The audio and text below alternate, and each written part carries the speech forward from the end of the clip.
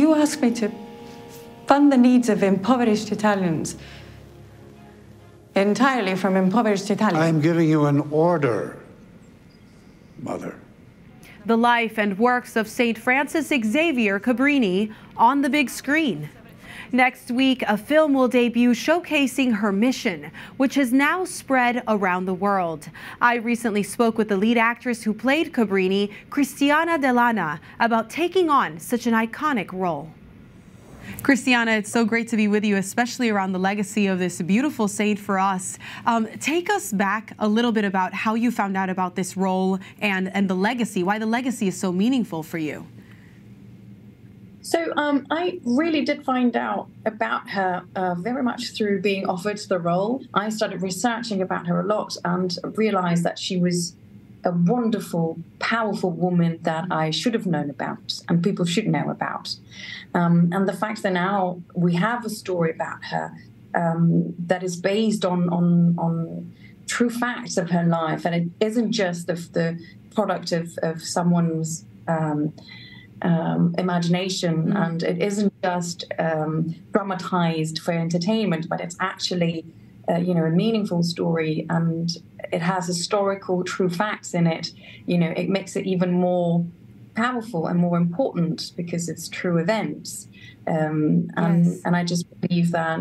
Uh, the, the, you know Cabrini's legacy should just be very proud because finally a story about her is out in the world and people can talk about her. A discussion can be open um, about who she was and what she did.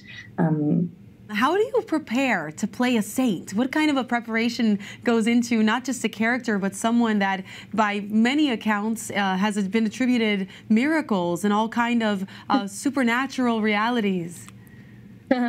we never really um, uh, address that in the sense that we wanted her to be very human. Mm-hmm. You don't become a saint because you are a saint. You become a saint because you become one, hmm. because you do it your actions. She was very human in the sense that she um, did heroic acts, and our, all her deeds were are things that we can do nowadays. So she was an example for people. Um, obviously the fact that you know the the fact that she's also miracles have been um, attributed to her makes her obviously a very important religious figure for all those who believe. But she's also someone who, um, not necessarily Catholic or Christian people, uh, can relate to. They, they, can relate to her. Everyone can relate to her, and um, and how special she was because she understood the importance of. Uh, of you know being a community and the responsibility towards our neighbor, which is a very Christian message, yes, but it's a very um, human message. Um, so everyone can relate to that. What kind of challenges did you face, though, in playing uh, Mother Cabrini? What was there anything that was a particular roadblock that you had to overcome?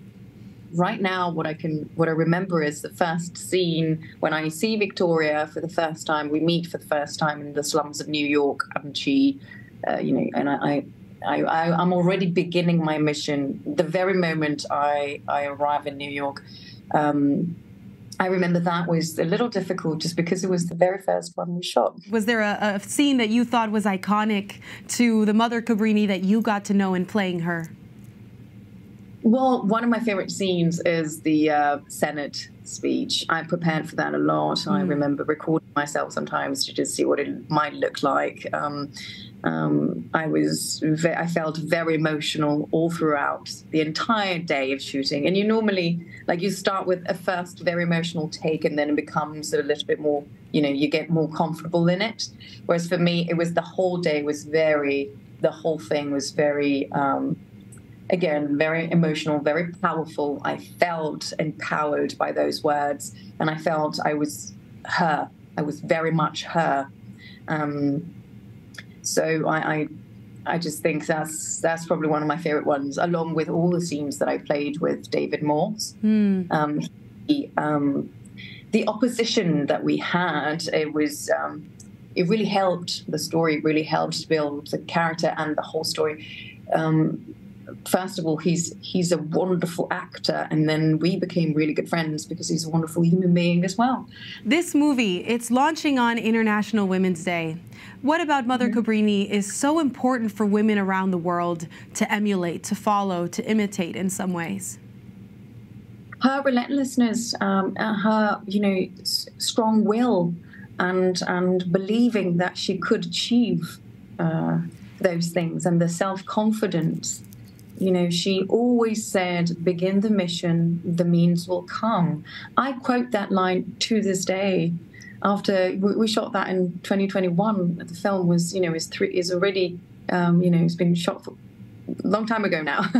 um, so um, I just think that they should see her as an example in that sense. And we have many examples of that. And why not having a nun as well, you know, to kind of, you know, break that stereotype of, of woman that if she wears a habit, she's not capable of capable of those things, but only praying. No, she was, you know, she put into action her beliefs, and I just think that's already very powerful. She says at some point, um, I I build my entire career on the on the noes that I've received. Mm. Uh, you know, it was her strength what then would you say is the one gift that she gave you in this journey of playing her, getting to know her? There's just some phrases that stay with you. Um, what gift did Mother Cabrini give you in this moment?